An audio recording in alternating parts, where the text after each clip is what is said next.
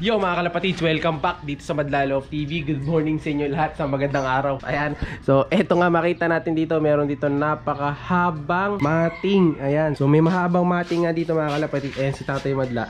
No, papakita niya sa atin yung mga bago nating biniling gamit dito sa loft. Dahil nga yung ating dream loft mga kalapatids is mabubuo na yung square doon sa loob. Magkakaroon na ng muka. So, eto yung gagamitin natin sa aviary. Ayan. Kaya samahan niyo ako today.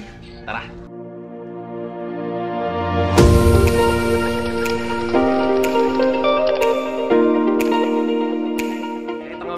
Kalapatids, nandito tayo ngayon sa ating garahe dito sa bodega sa harapan ng bahay namin. So ito makikita nyo nga dito yung ating steel matting na ginagamit. So meron nga tayo ditong 6 feet by 20. So yung kanyang haba, ay nakita nyo yung haba na ganyan. 20 feet yan hanggang doon kay tatay. So napakahaba. So kita nyo nga, magmula dito sa pwesto ko hanggang doon is 20 feet na yan. Tapos yung height nga niya is 6 feet, no? Kaya 6 by 20, 20 by 6 yung haba niyan. So, siguro yung iba ngayon lang nakakita ng ganitong mating ng ganyang kahaba. May nabibili talaga na ganyan. So, pangmalakihang mga structure. So, ito lalagay kasi natin to sa mukha ng ating dream loft dun sa loob dun sa aviary nga natin. So, meron nga dito dalawang klase ng mating.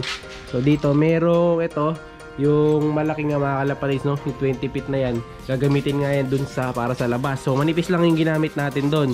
Then meron tayong makapal dito sa kabila. Ito. Yan, ito yung isang makapal mga kalapatids. Ito. Yan. So dalawang klase yung binili natin. So kita nyo ito mas makapal kumpara dito. Ayan, pag pinagtabi sila. Ito manipis. Yan, ito yung manipis na ordinary kumbaga. Ito yung mas mahal na konti. Bala magkano yung isa ba niyan tay? 2,000 pesos daw mga kalapatids. Ito makapal.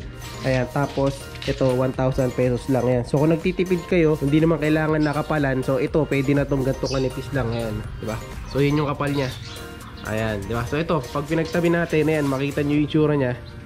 Yan, hindi naman ganun ka ano yung diferensya, pero yung tibay niyan, lamang sa tibay to. Ayan. So pininturahan na to mga kalapatids ng epoxy primer, kaya medyo gray na tong isa. So lalagay ito sa harapan yung buo na to. So ginamit nga natin yan is para wala nang putol-putol, para siyang buong diretso. Mas maganda kasi yung gano'n kasi yung ah, putol-putol, maraming ano yun, welding, no? Saka maraming cut. Mas maganda yung ganito, mas matibay. So yung frame niya nakalagay na doon, papakita ko sa inyo, pumuntahan natin doon. Pero ito, pakita ko muna sa inyo, may mga karagdagan tayong binili dito. Ayan, so lalagay ito sa mga sulok ng loft. Tapos ito, mayroon ulit stainless dito na naka-bend. Ayan, kita nyo mga naka-bend yan, naka-tope. Tapos ayun, may additional na yero para yan doon sa harapan. Ayan. So lahat yan, pati yung mga retaso na gano'n, magagamit lahat yan sa dream loft natin. Ito, yung sa harap mga kalapatid sa mukha. Wala na palang pintura yan kasi nga all blue. So ito kasi, yung all white natin to, yung mating na to mga kalapatid all white. Gagawin natin white house yung loft. Gagawin ano to, puro puti. Kaya may epoxy primer pipinturahan pa natin yan. So ito, akit tayo ngayon sa loob para makita nyo. Ayan, yung mga reta-retaso na yun yan. Magagamit pa yan pagka nagdudugsong-dugsong o kaya mga pantapal, pwede pa yan. Tapos ito, akit nga tayo. Ay, nakasarado pa nga loob kasi nga, maaga pa. So 6.51. Ito nga, napakalamig ngayon dito sa taas. Ayaw masyado umakit dito, nilalamig ako. Ayan, so ayun ngayon bukang liwayway. So pag nakatambay nga tayo dito, ayan, kitang kita natin yung sunrise dito. So ito kung yung likod na side natin ayan yung kita dito sa may harapan ng bahay natin ito yung likod nga. So yung harapan nandun. Dun lalagay yung mating so ito mga kalapatids. So tulay tulay muna tayo. Lilipat tayo dito sa gilid. Ayan. So ito nga mga kalapatids hanggang dito yung dulo no lalagyan natin ng mating ayan. So ito makita nyo to. Mating na yan. Paligo dito hanggang doon ayan ito na yung mukha ng mamatingan natin. So yung labas na to yung outer na to mga kalapatids may mating yan. So yung mating yan lalagay natin dito sa gawing labas, dito sa pinakamuka. Kukulayan muna nga natin ng puti bago lagyan yan. So pati to gagawing kulay puti to para hindi halata mga kalapatids yung frame. So buo nga yung mating so walang dugsong kaya maganda. Dahil ito nga ay aviary so yung liparan ng mga kalapati natin nandito. Dito sila maglilipad-lipad. So mataas yan kaya goods na goods na rin. Lalagyan natin yan hanggang mataas na dapuan. Kasi nga dito na sila magbibilad yan. Kita nyo nga ngayon dito eh nakabilad. Diba kita nyo naaarawan yung kulungan natin dito. So dito pagka umaga dito sila sa labas. Ayan. Tapos ng araw ayan nandun nga. So naaarawan na sila sa gawin na to. Ayan. Saka dito nakakapag ano sila ng fresh air kumbaga dito sa pwesto na to. So ayun nga mga kalapatis, so fresh air nga ang malalanghap nila dito. Tapos ayan, nakakapunta pa sila hanggang dito sa dulo na to. Ayan. Pero dito, kakat na natin yan, meron ng pintuan kasi nga mga kalapatis dito eh yung dumi nila may ipon na doon mga kalapatis wala na nakadesign dyan na uh, saluhan ng poop so dito kasi may saluhan talaga ng poop siya nakadesign niya tapos nakapalusong so kakainin lahat mga kalapatis siya nung alulod dito may alulod din yan katulad nito diba may alulod dyan. Lahat yan may alulod para lahat ng dumi may ipon lang lahat sa sulok. Ayan. So ito optional to. Pwedeng nating dugsungan. Pwede natin lagyan ng mga patuka equipment ng mga pangkalapate, pwede. Depende, marami tayong pwedeng gawin dito, maluwag pa naman. So ang gagamitin nga natin dyan is yung 6x20 na mating para walang putol. Kasi kung makapapansin nyo, ang lapad niya na ganun. ba? Diba? Hindi naman pwedeng gamitin dito yung usually na ginagamit na mating, yung 4x8. Kasi nga, marami ang mga kalapatis, malaki. Tapos doon nga mga kalapatis, eh, meron ng hagdan. So titingnan natin kung lalagyan pa natin ng mating na pag no? Check natin yan mga kalapatis marami pa tayong pwedeng gawin dyan. So marami rami pa. Matagal-tagal pa rin talaga tong loop natin. Pero unti-unti lang ipon-ipon lang eh matatapos din. So ito nga ang pagiging liparan ng mga ibon isang dito sa dulo. So makakalipad sila mula dito sa dulo ng poste na yan. Punta dito. Ayan hanggang dito sila sa poste na to. Ayan. So di nyo pa nakikita masyado kasi nga wala pa ang mating. Pag may mating na yan nakikita nyo na kung gaano kaluwag So ito yung section nila dito, tapos yung kabila, yun yung kanila. Ayan, so hiwalay, no? Dalawang section kasi yan. Tapos sa loob kasi, pag mula dito sa poste na to, hanggang doon, sa bakal na yun, na yun, sa pangatlo. Ayan, hanggang dito. Ayan. Kaya maluwag yung first session natin. Yung nasa likod kasi, yun yung mga susunod na generation, kumbaga. Pagkatapos ng race no mga nasa harapan, kunyari yung north, eh, nakasalang. So pagka natapos na sila, or natapos na yung derby, so lilipat na yung nasa likod, papunta sa harap. Tapos yung mga bagong papisa, sila naman yung sa likod. So salitan lang. So pa abante sila ng abante sa harapan. And then dito nga, ayan, so may pinto tayo mula doon sa hallway. Ayan, kasi nga ito eh buong mukha na to, yero. Pero may pinto yan dito mga kalapati sa gitna. So iniisip pa natin kung salamin or kung ano yung pwede natin gawin dyan. So ito all blue to. Kasi nga ito all white na. Ayan so matatakpan naman yung all blue dahil dito sa all white na ganito. Ayan na mating so sa susunod na video natin yun yung makikita nyo mga kalapadis kaya abangan nyo yan. So doon pa lang sa baba kitang kita na natin yan. Ayan.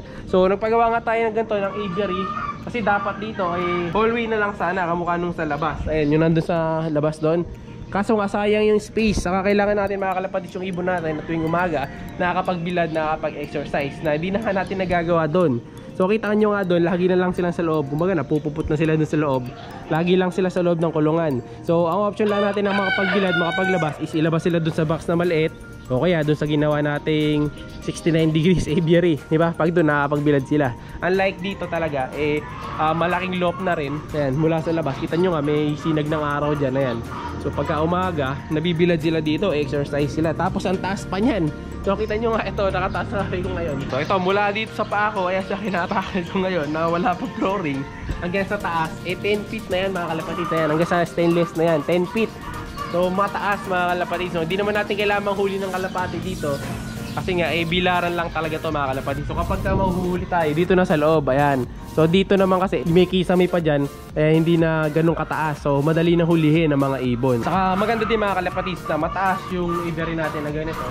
Dahil nga pagka mataas na ganyan, nakapag-exercise na sila ng taas pa ba, taas pa ba, ganyan. Sa ganun pa lang, nakapag-exercise nila. Para na sila lumilipad, no? Para na sila nakapag sa oras o low fly sa ganung diskarte. Ayan. Although hindi naman ganun kalapad, eh mataas naman. So binawi natin sa height mga kalapati. So, so kayang-kaya naman liparin mga kalapati. Alam niyo mga kalapati natin, magaling sa maniobra yan. So maglipad lang sila mula dito, paakyat doon, eh kuwang-kuha na nila. Ayan. And then ito nga, may option pa tayo na i-extend dito. Ayan. Pero optional lang yan, di pa naman sure yan. Pero malamang sa malamang, eh meron ng pinto dito yan mga kalapatids no? Kaya abangan nyo rin yan.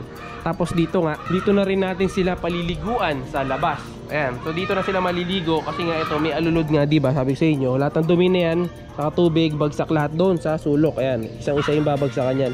So ito kulang pa yung mga poste na ito eh. Ayan dadagdagan pa yan. Baka nyo eh manipis.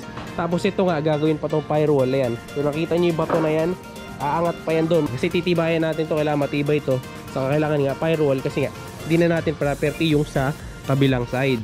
Kaya kailangan may firewall syempre. So ayun nga mga kalapati sir. Abangan nyo yung magiging secure nito pagka may mating. So all blue na yero plus puti na mating so So maganda kombinasyon yan. Nag-isipan natin mabuti yan kasi nga all blue yung naging kulay ng loft natin mga kalapatid.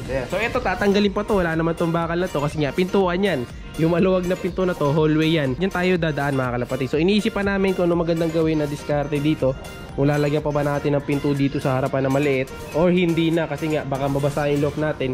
Kasi ang iniingatan nga natin dito is makapasok yung tubig. So kailangan isipin natin na mabuti kung paano yung diskarte dito. Ayan. Sa mga tatanong naman ako may nag-drawing ba na itong loft na ito mga kalapatis. Ang drawing lang nito is si tatay. Ayan. So tinutulungan ko lang din siya. Si tatay talaga yung nag-isip ng design nito mga kalapatis overall. Ayan. So siya yung pinaka-architect dito sa engineer ng loft natin. Ayan. So ayun, may naghihintay na sa ating aso dito sa baba. Ayan, isang asong maharot. Ayan o. Doggy dog! Ayun na si Doggy mga kalapatid. So naghihintay na si Boy Harot. Doggy! Hmm. Ito mga kalapatid. Good morning dogs! Hmm. Boy Dila. Ito yung sinasabi ko nga sa inyo mga kalapadis. Ngayon nga meron na tong ah, firewall kaya lang maliit pa no kasi nga meron talaga dito pader dati. So dinugsungan lang natin. Ayan. So ito gagawin ng buong firewall to mula dito sa baba hanggang dun sa taas. So sasagad yan, sasaluhin niya yung buong bakal na yun hanggang dun sa dulo ng loft natin. So lalagpas pa yan kasi nga in the future eh babakuran nga natin yung ating lugar dito hanggang dun sa harapan. Kasi makita nyo yung bahay namin talaga may bakod talaga yan sa harap sa gilid. So dito na lang sa side na to. Ayan nakaplano rin na lalagyan din tong ibaba. Ayan. So firewall nga yan. Ganyan kataas. So sasaluhin pa niyan yung loft kaya may poste pa dito yung mga kalapatid sa to. Yung poste na to mabubuo. Ayan, lalagyan natin ng poste para saluhin nga niya yung loft. Tapos dito, ito, yung dulo nga natin mga kalapatids, ito. Yan, so ito nakabaon nga ito mga kalapatids na malalim. So magkakaroon pa yan ng aso dito. Dogs! Yan, so magkakaroon pa nga ito mga kalapatids ng tambak dito, tapos magkakaroon pa yan ng semento. So yung taas na yan, extend na yan hanggang dito. So tingin ko abot na dito yan para masulit tong pader dito. So dudugsong na yan. Tapos additional na mga poste rito para saluhin itong aviary natin. Saka yung loft na din mga kalapatid para di ma-stress yung ah, pinaka-puting ng ating pulungan. Dogs! Hmm, ayun si Doggy oh. Napakagulong aso. Hmm? So yun naman mga kalapatids para sa araw na to. Sama-sama tayong mangarap para sa ating dream loft. So like, share, subscribe. Dogs! Ingat!